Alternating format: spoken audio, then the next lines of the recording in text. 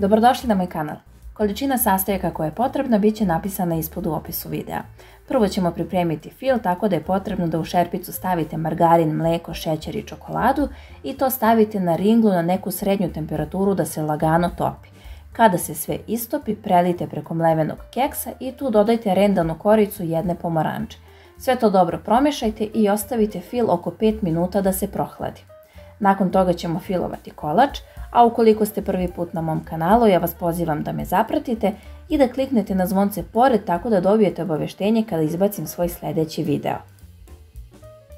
Sada ćemo filovati kolač, tako da je prvo potrebno da dva lista oblande skratite za oko 7 cm. Nakon toga preko prvog lista oblande stavljamo prvu polovinu fila. Razmažite fil po cijelom listu oblande i zatim preko njega stavljamo jafa keks.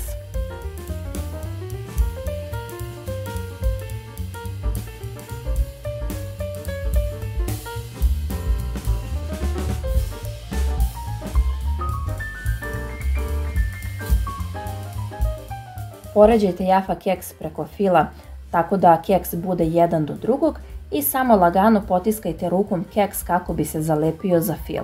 Zatim preko keksa stavljamo drugu polovinu fila, sve to lepo poravnajte i preko fila stavljamo drugi list oblande.